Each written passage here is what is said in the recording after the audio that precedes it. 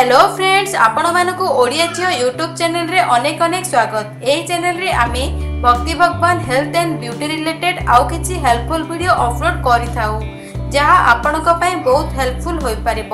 ସେଥିପାଇଁ ଫ୍ରେଣ୍ଡସ୍ ଯଦି ଆପଣ ଆମ ଚ୍ୟାନେଲକୁ ସବସ୍କ୍ରାଇବ୍ କରିନାହାନ୍ତି ତେବେ ତଳେ ଥିବା ରେଡ୍ କଲର୍ ସବସ୍କ୍ରାଇବ୍ ବଟନକୁ କ୍ଲିକ୍ କରି ସବସ୍କ୍ରାଇବ୍ କରିନିଅନ୍ତୁ। ତା ସହିତ ଏହି ବେଲ୍ର ଆଇକନ୍ କ୍ଲିକ୍ କରନ୍ତୁ ଯାହାଫଳରେ ଆମର ନୂଆ ନୂଆ ଭିଡ଼ିଓ ସର୍ବପ୍ରଥମେ ପାଇପାରିବେ। ଫ୍ରେଣ୍ଡସ୍ ଆଜି ଏହି ଭିଡ଼ିଓରେ ଆମେ ଜାଣିବା ମହିଳାମାନେ କାହିଁକି ନିଜ ପାଦରେ ପାଉଁଜି ପିନ୍ଧିଥାନ୍ତି। ସାଧାରଣତଃ ଭାରତୀୟ ମହିଳାମାନଙ୍କୁ ଆମେ ପାଦରେ ପାଉଁଜି ପିନ୍ଧିଥିବାର ଲକ୍ଷ୍ୟ କରିଥାଉ। ସ୍ତ୍ରୀମାନେ ଏହାକୁ କାହିଁକି ପିନ୍ଧିଥାନ୍ତି ଏହା ବିଷୟରେ ଆମେ କେବେ ବି ଚିନ୍ତା କରିନାହୁଁ। ସମସ୍ତେ ଭାବନ୍ତି ସେମାନେ ନିଜର ସୌନ୍ଦର୍ଯ୍ୟକୁ ବଢ଼ାଇବା ପାଇଁ ଏହାକୁ ପରିଧାନ କରିଥାନ୍ତି।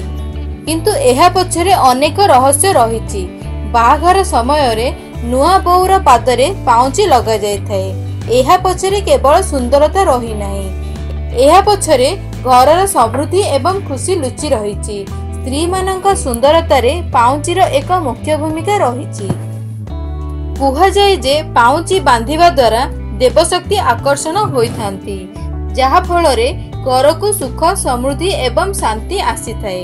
ପାଉଁଜିରୁ ସୃଷ୍ଟି ହେଉଥିବା ମଧୁର ଧ୍ୱନି ଘରକୁ ଆସୁଥିବା ନକାରାତ୍ମକ ଭାବନାକୁ ବାଧା ସୃଷ୍ଟି କରିଥାଏ। ତା ସହିତ ନକାରାତ୍ମକ ଶକ୍ତିକୁ ଘରକୁ ଆସିବାରେ ରୋକିଥାଏ।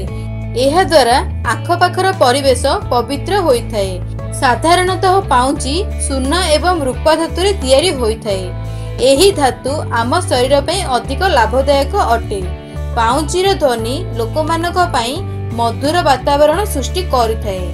ଏହି ସବୁ କାରଣ ଯୋଗୁଁ ମହିଳାମାନେ ନିଜ ପାଦରେ ପାଉଁଜି ପିନ୍ଧିଥାନ୍ତି। ଆଶା କରୁଛି ଫ୍ରେଣ୍ଡସ୍ ଏହି ଭିଡ଼ିଓଟି ଆପଣମାନଙ୍କୁ ନିଶ୍ଚୟ ପସନ୍ଦ ହୋଇଥିବ।